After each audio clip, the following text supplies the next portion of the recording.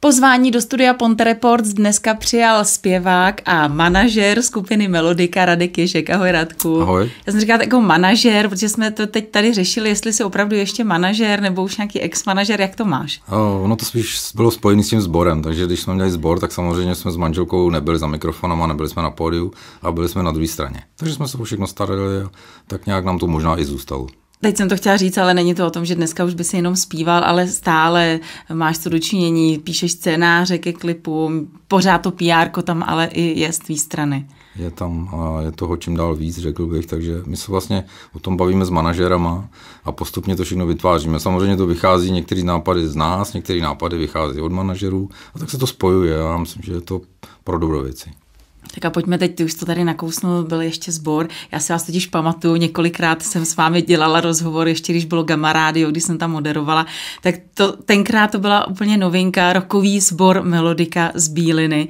Uh, tak co, jaký byl tenkrát ten sbor a jaká je Melodika vůbec dneska? Co se stalo? Je to furt rok. Je to pořád rok. A my jsme ten sbor vlastně založili s manželkou kvůli synovi, protože my jsme vlastně s manželkou zasekli muziku, protože se nám narodil syn a my jsme to úplně zasekli. A teď jsme si říkali, bylo mu, já nevím, sedm nebo tak nějak, co budeme dělat? Hrál na klavír a tak jsme zkusili tohle tu nějakou věc, kterou nikdo možná, já nevím, jestli to vůbec někdo dělá nebo nedělá. Já jsem to nikdy neviděl, rokový sbor. Tak jsme to prostě udělali a myslím si, že to za těch, já už ani nevím, asi pět let nebo šest let, nebo jsme to tak nějak Jo, vznikli jste ve 2013, pokud se nepletu, ve 2019 tedy ten rokový sbor. Pojďme jenom ještě chviličku zůstat u toho rokového sboru hmm. Melodika, hmm. protože vy jste tedy vybírali i repertoár. Kolik vůbec měl ten sbor členů? Protože to bylo opravdu jako docela velký těleso. Začínali jsme snad na 20. Že jo? na 20 lidech, to vůbec nevím, jak jsme to mohli ukočírovat všechno. A postupně se to vygradovalo, bylo nás snad taková ta nej, nejlepší sestava byla v těch šesti asi. Ale ještě k těm 20, já vím, že tam i bylo docela jako věkové rozpětí. Jak, jak jste tam byli věkově? A jako to byli školáci všechno. A některý, myslím, že tam byli nějaký ty 17 letý, ale a měli jsme tam i, i drobo, drobou linky, jako, který, a my jsme jim nutili písničky, které který prostě jsme si říkali, zaspívají to vůbec, ale nějak, nějak to na zkušebně šlo. Takže... No, jako musíme říct ty písničky konkrétně, třeba nebudem říkat konkrétní písničky, ale vím, že jste měli v repertoáru Queeny, ano. Floydy, ano. Cranberries ano. a podobně. A to jsou jako slušný dardy ano. pro opravdu jako zpěváky. A teď vy jste jako nutili ty, co náctiletí, jste nutili devítiletí. My jsme nenutili. Ne, nemyslím jako nutili. nenutili. Bylo ale... to úplně naopak. Oni nutili nás, oni nám nosili písničky a říkali, tohle chceme zpívat A my jsme říkali, jste se zbláznili. Tohle jsou prostě věci, které jsou těžké. A teďka se hádali o ty písničky, jo. takže vždycky z toho vyčuhoval, většinou, my jsme, sice to byl sbor, ale vyčuhovali z toho vždycky nějaký uh, talenty. A ty zpívali ty písničky, jakoby ty sloky, a jakoby už... Jako, tam ty byly takový ty vokály, to byly ty zboristi. To byly ty vokály a tak se to začalo právě protřiďovat teďka si začali navzájem i trošičku závidět a, a, a potom se i odcházelo a tak dále. A, a zůstalo právě takový to jádro nějaký a, a myslím si, že to fungovalo. No a co tedy zbylo z toho, z té původní melodiky, z toho sboru? Náš syn. Takže opravdu, syn. Eh, když se podíváme na ten rokový sbor v tom, já nevím, 2013 i 2016 třeba a teď se podíváme na melodiku 2021, tak tam zůstal opravdu tam jenom, jenom Filip. Filip že? Jenom Filip. Eh, co se tedy stalo v tom 2019, že najednou skončil rokový, eh, rokový sbor a vznikla kapela Melodika? Já jsem si tak nějak probíral články všech kapel, dokonce i Olympiku a takhle přesně začínali. Všichni začínali cover verzem a písničkama, které byly převzatý. Aniž bychom to tušili, že vlastně jdeme stejnou cestou, tak jsme si řekli, že chceme dělat autorské věci.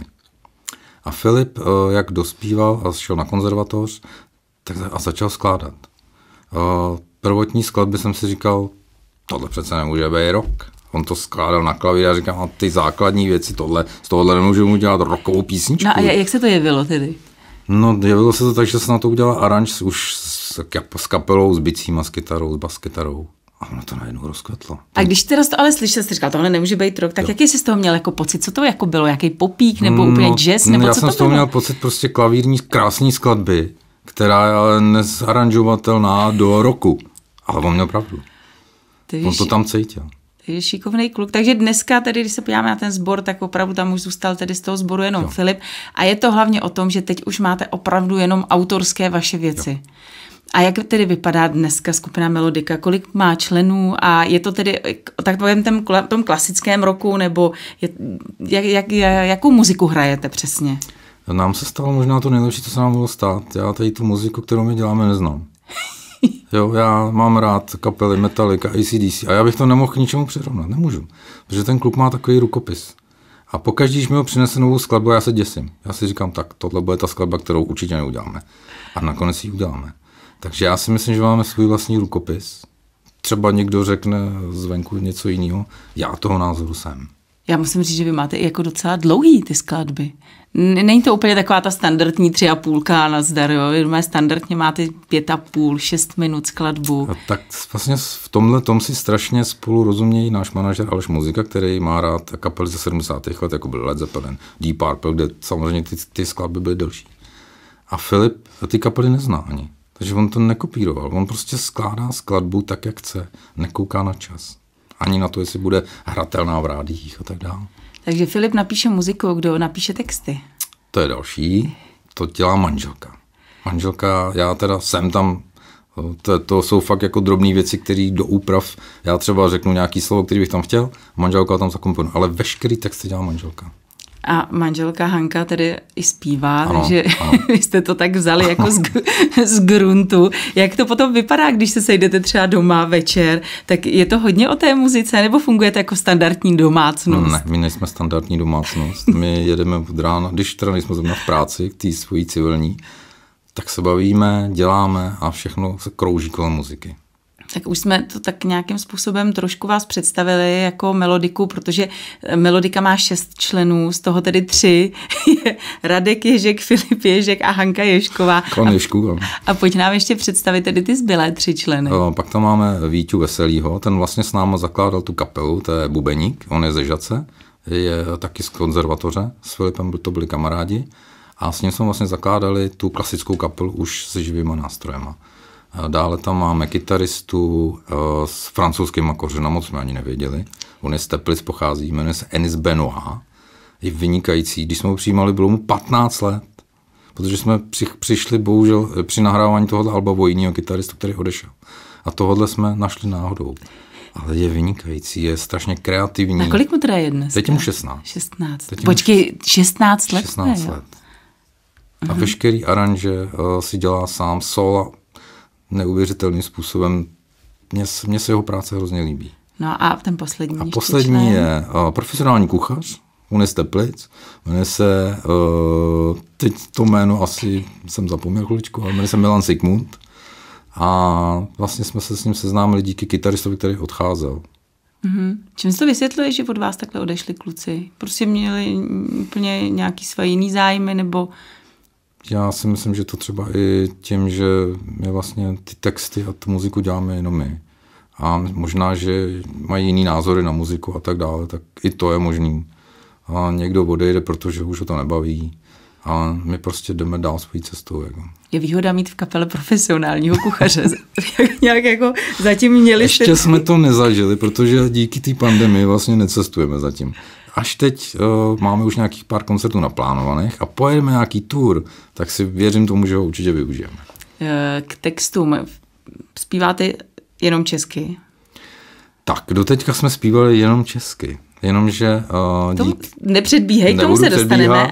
Ale okolnosti tomu teď chtějí, že my budeme zpívat i v angličtině. A bude to jenom ta jednorázová záležitost, anebo chystáte jako nějakým způsobem do budoucna eh, do té angličtiny spíše? Jako... Teď budu mluvit spíš sám za sebe. Mm-hmm. A zatím jsem to přednes doma na radě a řekl jsem, že bych si přál, aby toho album, který děláme v Ponte Records, byl i v anglickém jazyce.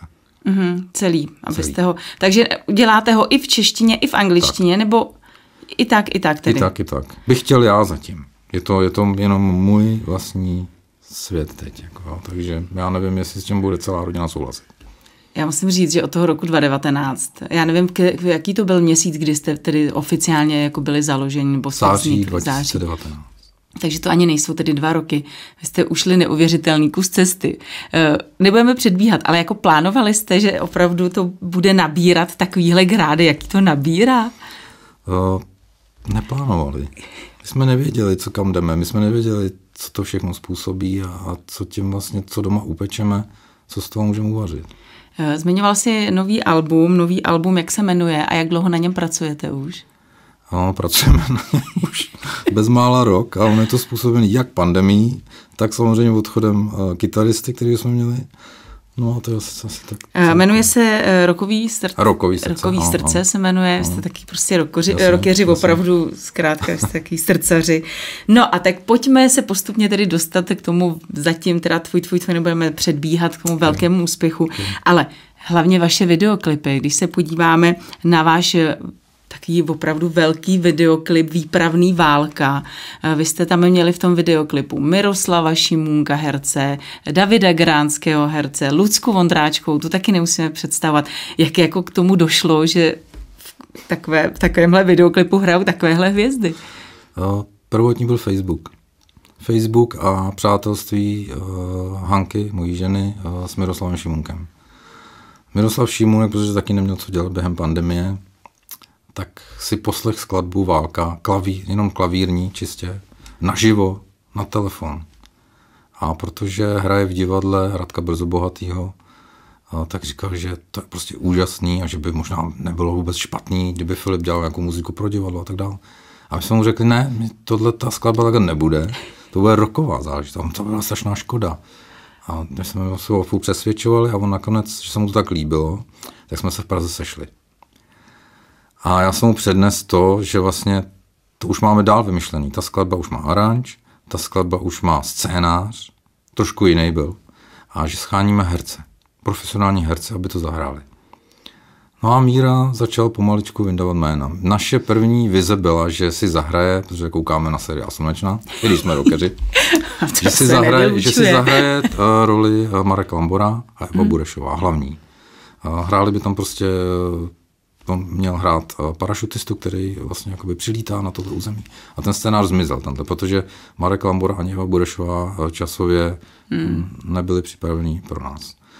No a tak uh, s Mírou jsme vlastně špekulovali, co dál a Míra nám dával další jména. Další jména byly Lucie Vondráčková a David Gránský. S Lucí Vondráčkou jsme si dali schůzku v Praze v Sushibaru. Přednesli jsme jí opět náš ten a jí se to hrozně líbilo. Líbila se jí písnička, a bylo to na světě. A jaká byla spolupráce s nima? Úžasná. Jak dlouho se natáčel ten klip a kde se natáčel? Ten klip se natáčel v Kostomlatech, na hradě, kde hmm. jsme mimochodem s manželkou zpívali v muzikálu Jakoubek čtyři roky.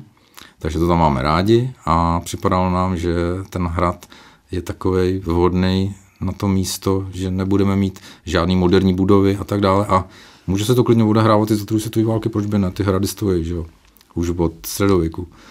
Takže jsem napsal ten scénář a Lucka i David prostě byli profesionálové na place, absolutní. Furt za mnou chodili, já, já jsem byl z toho úplně jako, já jsem byl nervózní na začátku hrozně, protože Míra přijel a říká, rozdělíme to na štáby, já budu točit dole a ty, já říkám, já nemám dva štáby. Já budu u každého záběru. Já jsem to napsal a to chci vědět. A, jo, takže, takže jsem ho na začátku hned usadil. A Míra teda... Šimunek ještě. Tak, Míra Šimunek, Míra Šimunek, který už jsme teda nakonec taky dali roli, protože nám to přišlo strašně dobrý, že tu roli tam zahraje ještě i Mirek Šimunek. A Mirek se s tím teda smířil, natáčeli jsme, já jsem byl u každé scény a musím opravdu říct, že jsem si to natáčení strašně užil a můžu říct a doporučuji každému s těma profesionálama zažít takový den, jako jsme zažili my. Byla to zkušenost i jako pro tebe nějaká? Strašná. Opravdu, jako já při každém záběru jsem si sám sebe ptal, dělám to dobře, nedělám to dobře. Nakonec jsem zjistil, že to asi dobře dělám, protože pak už za mnou chodila i Lucka a říkala, že by to mohla zahrát takhle. Tu pistol držela poprvé v ruce. To jsem tam měl kamarády, kteří byli uh, ze spolku uh, tadyhle těch uh, vojenských veteránů, kde vlastně oni nám instruovali i Davida, který taky držel zbraň poprvé, to jsem ani nevěděl, a Lucka to samý. Takže oni se než učili střílet, takže to byla neuvěřitelná, neuvěřitelná zkušenost, každému to doporučuju. S takovýmhle lidma dělat. Jaký byly ohlasy na tenhle videoklip? No, protože jsme ještě vlastně věděli, že bez křestu a bez toho, aby jsme to ukázali v Praze, to nebude mít takový dopad. Tak jsme se domluvili s Ludskou na křestu a s Mírem Šimunkem a s Davidem Gránským a udělali jsme to v Praze Moving World a přišli, pomohl nám, teď musím zmínit Reného Kekeliho, a ten nám strašně pomohl právě s tou prezentací, pozval novináře, takže díky tomu všemu jsme se nakonec objevili v pořadu Showtime, kde, kde vlastně neznámá melodika, dá se říct, z Bíliny, se dostala do Prahy a mohla prezentovat svůj videoklip s hercema no, takovýhle formátu. Hvězdný, hvězdný, ano, ano. hvězdný videoklip. Ano, ano. No tím to ale neskončilo, protože no, na světě už je další nový videoklip. to se ta, ke skladbě Svět se řítí ano, do záhuby. Ano, ano. Mě, víš, co se mi ještě na vás líbí? Mně se, za, asi mi na vás líbí, že zpíváte česky hmm. a že jste takový patrioti, jo? protože hmm. vy jste ze severu Čech. A skutečně ten první klip jste tedy točili, točili na, v Kostomlatech ano, ano. A tenhle druhý jste točili tady eh, na, v kostele v Mariánských Račicích. To se mi líbí, že si jakože zůstáváte pořád jako doma. No a tady byl kdo jako hvězdný host? No, protože my podporujeme nadační fond za zvířat. A tam jsme se seznámili s Ladislavem Zimmermanem, který nás vlastně oslavil už asi dva roky, ho podporujeme. A tam jsme se seznámili s Miss Czech Republic 2020 Karolínou Kopincovou. Nejvyšší Miss za, za historii. No a ona dělala moderátorku, my jsme zpívali a my jsme už ten videoklip věděli, že ho chceme dělat. A teď jsme si říkali, když jsme v tom prvním videoklipu v té válce měli takové hvězdy, my potřebujeme někoho, kdo tam bude další. Tak jsme ji oslovili. A Ona všechno, to přijala. Všechno pojď. Hele, jako jedna písnička válka, druhá písnička svět se řítí do, do záhuby, taky trochu depresivní. A to jsme neplánovali vůbec. Třeba to svět se řítí do záhuby, někdo říká, že to je jakoby součást toho covidu a ta písnička vznikla daleko předtím, rok před pandemí, to jsme ještě nevěděli. Jo, ale hm, nevím, je to vždycky daný tím, jak ta skladba působí. Mm. Takže když se k tomu sedneme a řekneme si teď, jaký tam bude text, jak ta skladba je ponurá, není ponurá a podle toho se rozhodujeme. A Filip vždycky, no, hlavně u té války, tam říkal, to bude válka. A u toho světu zase manželka říkala, tady mám vizi jinou, tady mám vizi, že svět se řítí do záhuby. Jako, a tak jako ale pozvolně. Že to prostě není myšlení, jako že svět se řítí do záhuby nějakýma katastrofama, ale že to jsou vnitřní pocity lidí. Třeba u té modelky, každý si tam samozřejmě může najít, co chce, ale u té modelky to bylo tak, že jsme chtěli ukázat, že vlastně i ta modelka, která je ve světlech reflektorů, fotografů, může být smutná. Že jo, je krásná. Ano, ano nohy až ke krku, že jak si řekneš, co jí chybí, štíhlá, přesně ty míry, všechno je tam, kde má být. Jo, a, a stejně a to tam. Přece, a stejně. Jasně. A tím, tam... tím to poličujeme, bych řekl. Jako hlavně já vás znám a vy mi vůbec jako nepřijdete depresivní. Takže... No a teď, teď vytáhneme úplně to ESO z toho rukávu. Jasně. Už tady máme ty dva hvězdní videoklipy a toho nejhvězdnějšího hosta si teď necháme jako ESO v rukávu a tím je tedy Russell Gilbrook. Je to bubeník legendární skupiny Uriah Heep, jako skutečně Uriah Heep, no, protože já když no. jsem o tom někdy vyprávila, říkají, prostě to je nějaký jako revival, ne, Uriášu. Já říkám, ne, ne, ne, to jsou opravdu ty uh, no. Heep, který známe z Londýna z roku 1969. No. Prosím tě, jak se stane, že budeme pořád říkat, protože vy jste Ofiko stále jako bílinská, i když už se jako prezentuje jako teplická Asi. kapela, ale tak jako fakt Ofiko, tenkrát ještě to byla bílinská kapela, melodika. Jak se, dos, jako se to stane, že začne spolupracovat uh, s Raslem, uh, s Gilbrookem z toho z Uriah Heep? Tak tohle začnu jedním jedním slovem, to je kamarádství. Kamarádství. Kamarádství našeho manažera, uh, Aleše Muziky, toho musím zmínit, protože to je celý jeho práce. Uh, my jsme velký kamarádi, dokonce spolu děláme uh, zaměstnání. A Aleš, o Alešovi vím jediný, že Aleš je největší fanoušek v České republice Jurá Heep. Procestoval nesčetně koncertů s nima, byl s nima v zákulisí, byl s nima na pódiu a furt o nich vyprávěl. A teď, když jsme dělali to album, tak za mnou přišel a říká, hele, já ti mám takovou vizi. Já bych jako chtěl, teď je pandemie, nik, nikdo nikde nevystupuje, ani Juraj Hyp nikde nevystupují, pojďme to využít. Říkám, co využít? No, prostě oslovíme uh, Rasla Gilbruka, aby nám nabundoval nějakou písničku. On něco takového dělá i pro jiný kapely, pojďme to zkusit. Říkám, hele, já jsem jako, jo, jako klidně to rozjeď, jako jo, já. A nedával jsem tomu, opravdu jsem tomu nedal, tak jako u Filipa s tou válkou. A Aleš to prostě nějakým způsobem, díky Vladanovi Reňákovi, to je náš druhý manažer, ten můj, on je vlastně učitel angličtiny, umí německy, tak to vykomunikoval. Vykomunikoval to tak, že ten Russell říkal, že jsem mu poslal nějakou písničku z toho Alba, jenomže my jsme tu album měli nabubnovaný. Hmm. A nechtěli jsme, aby ten náš bubeník, aby hm, se cítil špatně, že nějakou písničku mu bereme a přehráváme ji. Tak jsme dostali šibeniční termín 14 dní, aby jsme tu písničku složili. Takže přišel vlastně první moment byl Filip. Ten musel na klavír složit písničku, která se už má název, jmenuje se Život. Můžu to prozradit? No určitě, jasně. V angličtině se jmenuje Live A ten vlastně přines tutu a manželka jí do týdne musela otextovat. A teď, když tu písničku jsme poslouchali, tak od první chvíle manželka říká, a mně to přijde takový jako od narození, když to začíná, až jako po smrt. Zase se to trochu pochmurný, jo. Ale ten život takový je prostě. A takhle možná nějak bude vypadat i ten videoklip, jo. Takže se to jmenuje Život. A ten Russell to prostě nabouchal v anglickém studiu Baseldon. Mm-hmm. Dokonce se, my jsme měli přání, protože jsme tušili, že chceme k tomu dělat videoklip, ale prostě za té pandemie prostě se nesejdeme, takže to natočí se sám, což se stalo. A pošle nám to. A my jsme z toho neskutečně jenom z těch bicích a z té jeho energie, kterou on dal v tom studiu, neskutečným showmanstvím a kvalitou, jsme z toho byli, byli pav. A teď v tu chvilku jsem seděl doma a jsem si říkal, pane bože, co vlastně děláme? Co to vlastně my děláme? Tak mě napadlo prostě, že oslovím, já nevím, jestli tady můžu mluvit o rokovém magazínu Spark. Určitě, povídej. Prostě jim to nabídnu. Jim to nabídnu s tím, že tohle už je, to nás převyšuje. Hmm. To už není na regionální noviny, to by prostě chtělo, aby to věděla asi celá republika. Protože už jsem v tom byl zakořeněný, už jsem Alešovi věřil, už jsem nepochyboval. Dokonce jsem mu strašně děkoval, do dneška mu děkuju a on má další nápady, které zatím nemůžu říct, že ještě nejsou, nejsou úplně to. Uh, radši já to nechci zakřiknout. Nebudem to tak, jasně. No a prostě jsem za to hrozně rád, za tuhle spolupráci. Tak jenom ještě tedy, takže uh, Russell to nahrál, na, bubnu, na, nahrál ve svém studiu v Londýně. Ne, nahrál to ve studiu Baseldon, což je studio jeho kamaráda Johna. Uh-huh. Poslal to tady do mostu, poslal uh-huh. to k vám. Uh-huh. A uh, na jeho bicí nebo s jeho bicíma bude ta skladba, kterou vy teda nahrajete, naspíváte, nebo už, už je nahraná. Už je naspívaná. A bude jenom v češtině, nebude. To je právě to, že chcete i v té angličtině. Bude v angličtině, tam to právě začalo. A díky tomu vlastně. A Hanka teda to složila nejdřív v češtině nebo v angličtině? V češtině. A v, češtině. do angličtiny jí dá kdo? No takhle. Ten John, ten majitel toho studia Basildon, my jsme mu poslali ten český text, tak jak je prostě. Aby věděl, protože jsme řekli, že bychom potřebovali, aby to bylo prostě do pusy. Aby to bylo fonetické, aby, nem, aby to nemělo úplně ten samý význam, ale když to přeložíme, tak by to prostě asi nebylo takový.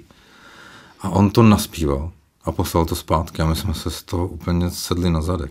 Mm-hmm. A to jsme si řekli, to, to není možné ani. Jak je to krásný, jak, jak, jak on je muzikální ten, ten člověk. A že prostě tak, když se to naučíme, jestli se nám povede se tomu jenom malinko přiblížit, že ta skladba ještě rozkvete, že ta angličtina je krásná. No a nenapadlo vás ho nechat v tom, v té v anglické verzi?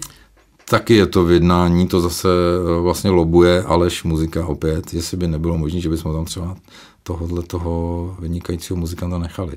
A to je v jednání. Jo. Ale tím to ještě nekončí, nebo protože bude tedy ten klip a ten klip se bude točit kde? A domluvili jsme se s Mírou Kuželkou a s Ríšou Řeřichou a s Romanem Dobrevem, že vlastně, eh, aby to bylo spojený, jak je to točený ve dvou studiích. Eh, Russell se vlastně nahrál v tom studiu Basildon v Anglii. A my to propojíme s tím, že natáčíme tady, tak budeme natáčet tady v Ponte Records. Ale a přijedou třeba, přijede někdo z těch uriášů, přijede sem někdo? Já to nechci zakřiknout, ale tohle všechno vlastně teď s nima jednáme. My s nima jednáme o tom, že přijedou na křest Alba. Ten bude kdy, víme to? Nebo... Bude v červenci. V červenci bude. Bude v červenci. Takže přijdou na křes Alba a na křes toho klipu, to asi spojíme všechno dohromady. A nevím, jestli to všechno můžu říct, s Mírou Kuželkou jsme se na něčem domluvili a uvidíme, jestli to všechno, hlavně musí přiletět. Všechno záleží na té pandemii. Čeká se, Russell čeká na druhou dávku vakcíny a podle toho se všechno bude odvíjet. Jako, že by bubeník Juraj by přiletěl sem do mostu do Ponte Records, že bychom si tady s ním udělali večírek. Já myslím, že to není tak nemožný, protože ten, kdo je iniciativnější, je Russell. Jo. A myslíš, že by ještě jako přiletěl s někým, nebo by přiletěl sám? Já bych si strašně přál, aby přiletěl s ním i John, protože s ním chceme právě řešit otázky těch uh, textů. Aby jsme si sedli v klidu, protože Russell říkal, že se těší na hospody, že už jsme mu ukazovali nějaký, kam rádi chodíme a tak dále, jak v Teplicích, tak v Litvínově mostě. Takže... Je jasný, co teď možná spustíme, až tady ten já nevím, já jako... sám to nevím. já sám to nevím a bojím se, že se to třeba nepovede. Já doufám, že se to povede všechno. No budeme doufat taky, budeme no. věřit, no. že se to všechno no. povede. A jenom upřímně, jako dochází ti to vůbec ne. všechno? Ne, jako co? Nedochází. Nedochází. Já jsem furt ten obyčejný kluk z nějaký kapely, která ještě nic nedokázala. A jako máte třeba aspoň jako trému, nebo těšíte se, nebo ty pocity jsou smíšený, že opravdu, že by se tady ukázali a uh, vy byste stáli s nima na jednom pódiu, teď by... Pak už trému mít nebudu, já budu mít trému, jestli to letadlo dosedne, jestli nastoupí do auta, jestli ho sem dostanu. To budu mít trému.